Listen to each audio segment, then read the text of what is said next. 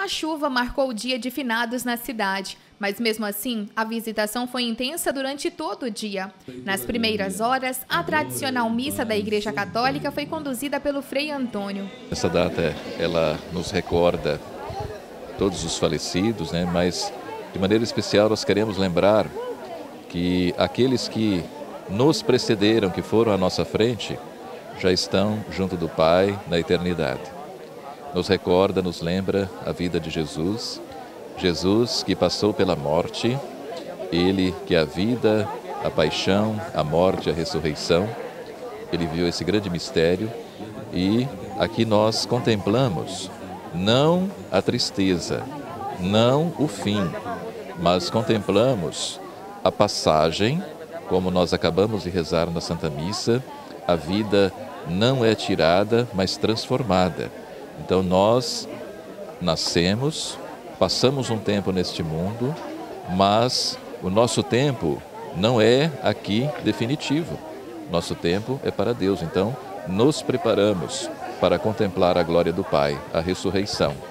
Então creio que olhamos para, lembramos dos nossos irmãos, nossos parentes, amigos, com saudade, mas não com tristeza, porque eles já ressuscitaram. Então, este é o grande mistério que a gente vive: a vida, a paixão, a morte, a ressurreição.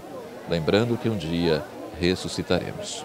Logo em seguida, com instrumentos, os membros da Igreja Evangélica realizaram o culto. Esse dia de finado para nós evangélicos é um dia apropriado para nós evangelizar. Há um livro que diz assim: ganhando almas lá fora onde os pecadores estão.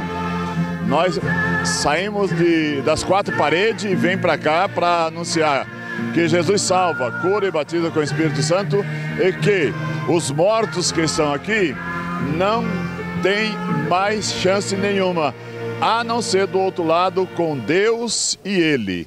Porque depois que o homem morre, tem que apresentar diante de Deus é, junto com as suas obras e prestar conta dos seus atos que fez aqui na terra. E nós estamos aqui para esclarecer que quem pode salvar e o caminho verdadeiro, a luz verdadeira que guia o homem e a mulher é Jesus. Quer dizer, eu sou a luz do mundo, quem me segue não andará em treva.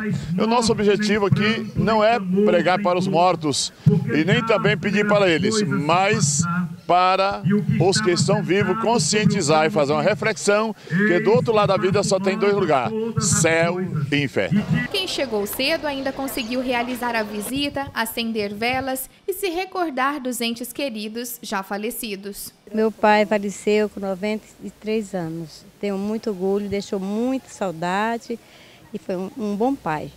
Foi um pai exemplar para a nossa família. A gente não tem mais, mas tem que zelar do lugarzinho deles, né? Que Deus levou eles, mas fez muita coisa boa para nós, então nós temos que zelar do lugarzinho onde está, né? Tem muita gente fala, ah, morreu, acabou. Acabou não. Existe ainda, é fazer que na moda está no coração nosso. Ele morreu, mas está no nosso coração. Todo ano a gente vem, né? É, não é uma comemoração, é um, sei lá, é um jeito de a gente né, lembrar, né? Nem aqui está minha mãe, tem muitos parentes, tem amigos, né? Inclusive seu pai, um grande amigo que era meu, então esse dia é marcado, né? A gente vinha aqui visitar os entes queridos, né? É, é muito bom, encontra muitos amigos também, né? De repente hoje a gente está encontrando, quando é o ano que vem já não se encontra mais, né? É assim, a vida é essa, né? Mas tem que. Esse dia é muito marcante para mim, entendeu? entendeu? Você fica até emocionado. Fico sim, com certeza. Lembrar das pessoas. Inclusive meu pai está lá em Cacoal, né? Enterrado lá, não, não tem nem como ir lá.